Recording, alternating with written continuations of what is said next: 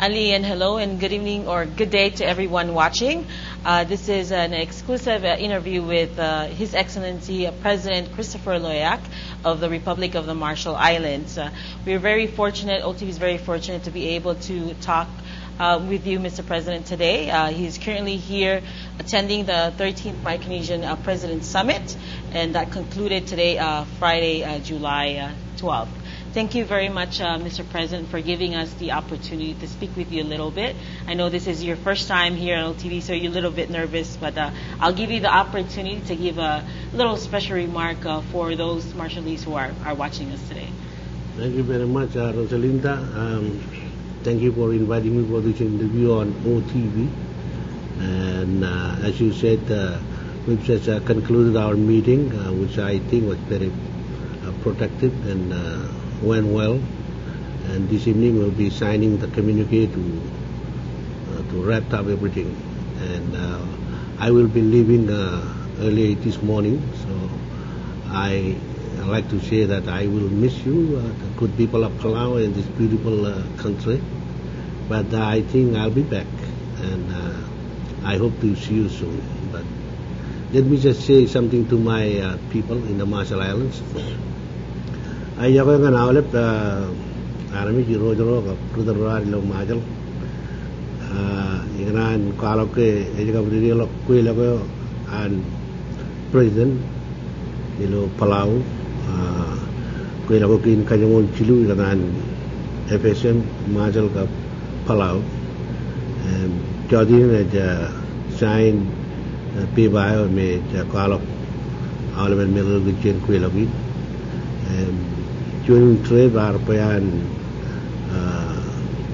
முதுகுதில்வான் பதா பல்வா கம்மூல நானுக்கு போய் எதப்புறம் என்ன மரம் உச்சபலா கொஞ்சம் மாஜல் அச்சப்டோக்கன் கீழே நாச்சு எம்மகுச்சன் பலாவு உச்சி மரவும் ட்ரைனி இவர்கள கோனியலு நாயிரவாளன் மாஜல் கும்காஞ்சம் மூலகு நாமி ரோஜாக நான் பாக ஆகலம்னா கட்சி தருவது பெண் ஜோரோவின் பருவஜின் திருவல் திரு ဒါလေးသားဖို့မင်းမင်းနိုင်ဘူးဒီလိုရနေမှာတာတာကမောလို့လည်းကင်ကျော်ညည်းညီပါလို့ကျရဲလို့ TV အကျအခွေအန်အကဲရကနကအဒီမှာကမန်ပရီလို့ကိုရနိုဂိနာအဒီမှာနဲ့ဝေကို TV လို့ပလာကရင်ရစ်အရနေ TV တော့မနနာကရတူရကန် yen kuno no per kumamol Thank you very much, Mr. President. Uh,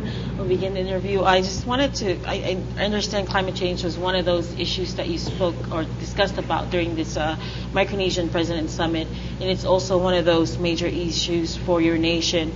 Can you tell us um, how climate change is affecting your country, and how does the government plan to sort of deal with it in the future? I think climate change has become the most uh, issue that we're concerned now because uh, it hinders uh, our uh, plan for development. It affects our social and cultural lives and our way of life. It affects the relationship between us, our land, and our resources. I'll just make an example of Marshall Islands. In recent uh, weeks, uh, uh, we had declared uh, uh, state of disaster for the northern part of Marshall Islands, which are being affected by a climate induced uh, drought, which went on for months and months and have caused 600 people to 6,000 people to suffer shortage of foods and water. so we're being shipping them uh, food and waters to uh, to make sure that uh, they're taken care of at this time. May 7 was the time day that we declared the state of emergency. But on June 25th, uh, the southern part of Marshall, including Majuro, was inundated with uh, king tide uh, and floods. So you can see that uh, you know this climate change is a, is a very serious uh, thing uh, for small countries, especially low-lying atolls like Marshall Islands. Our own survival is in in question. People are asking, where will we go uh, if our islands are inundated? We'll probably become refugees somewhere. Uh, a thing that nobody wants to think about, but it could inevitably happen. So we're very concerned. And at this forum, we're going to uh, highlight this one. Uh, we're inviting uh, experts to come and talk on it. And uh, we're also inviting all the Pacific Island uh, forum countries to participate and contribute to these discussions. And we hope to have a declaration that will highlight this problem. And we hope also to um, persuade some of the bigger nations uh, like United States and uh, China, the big emitters, uh, which contribute 60% of the the problem to endorse this declaration. We hope that this meeting in Majuro, the Pacific Island Forum, will be a good place to uh, uh, highlight this, uh, given the fact that we are at the very moment being suffered from climate change effects. Thank you. Now, Mr. President, I'm glad you mentioned uh, the, the drought disaster and also mentioned the, the king tide that flooded, virtually flooded the capital of Majuro. Um, how does that affect economic development in your nation? Is it a continuing impact on on uh, the economy being developed in the Marshall Islands? As I said, you know, this will affect everything, including the economies of uh, countries, especially small countries like Marshall Island, uh, because uh, uh, to begin with, we don't have that uh, much resources for economic development, but our corals and our fish are being affected by climate change. So these are, uh, as you know, our environment, you know, erosion of the uh, shores and uh, uh, salination of our waters and all these things bear down on economics. So. In terms of cultural preservation and looking at climate change and urbanization and westernization, how is the Marshall Islands dealing with preserving its culture and heritage? Well, as I mentioned earlier, uh, if we become refugees, you know, the very question of our own cultural survival uh, is an issue.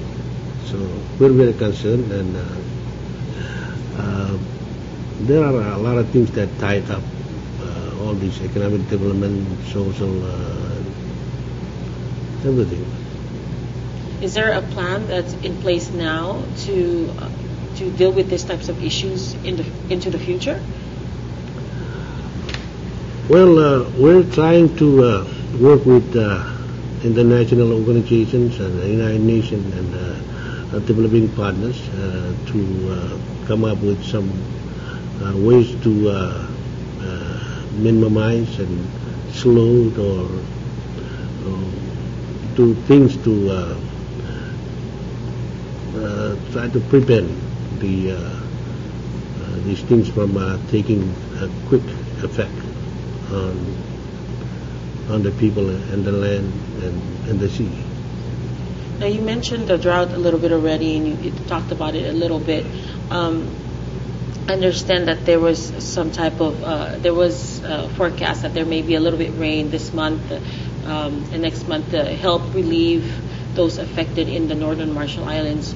Um, currently, is it the situation? Is it still very dire and still very severe at this point? Uh, yeah, rain are beginning to come back a bit, uh, but uh, they they don't last long uh, for one. and uh, this uh, will be a norm now. we're told by weather people that we should expect this kind of drought to to happen more often. So it also affects the economy and and the people. So, so. Now, you already talked about the Pacific Islands Forum, uh, which your nation will be hosting for the second time. Um, how will this meeting, you, you mentioned it a little bit, but can you go in a little bit detail about how this meeting can benefit not only the Marshall Islands, but the Micronesian region as a whole? Well, as I mentioned earlier, uh, there would be uh, issues to talk about among the leaders, uh, which uh, uh, affect the whole of the Pacific Island Forum countries, and a lot of these issues are common to everybody. But uh, with the the issue that is uh, foremost, uh, we think that uh, will uh, come out of this uh, meeting is the issue of uh, climate change. So we'll we'll work on other issues, but our aim is to make it an international showcase of uh, how climate change really affect uh, the Pacific Island uh, countries. Will there be some type of uh, display or showcase to, to show these delegations from the different Pacific Island Forum members of what climate change looks like in the Marshall Islands? Well, uh, you know, there's a committee that uh, plans uh, uh, the uh, events that will surround these uh, meetings of climate change. Uh, it will be a marginal meeting uh, to the forum, so uh, we, we think that it will happen before we actually going to the forum meeting. And uh, uh, whatever uh, come out of it will come to the forum, and so Well, thank you very much, uh, Mr. President, for giving us the opportunity. Is there anything else you would like to, to add or to say to, to the Micronesian people who are watching you right now? Uh, thank you very much. I like to uh, say hello to all of our uh, fellow uh, uh, Micronesians, and uh, I like to say that you know let's continue this close relationship among ourselves. Though we've chosen different path in our political, um, but you know we remain brothers and sisters in Micronesia. So let's continue that. Uh, it's, a, it's a good thing. I think we find find strength in being working together and uh, and being being one one people. Thank you very much.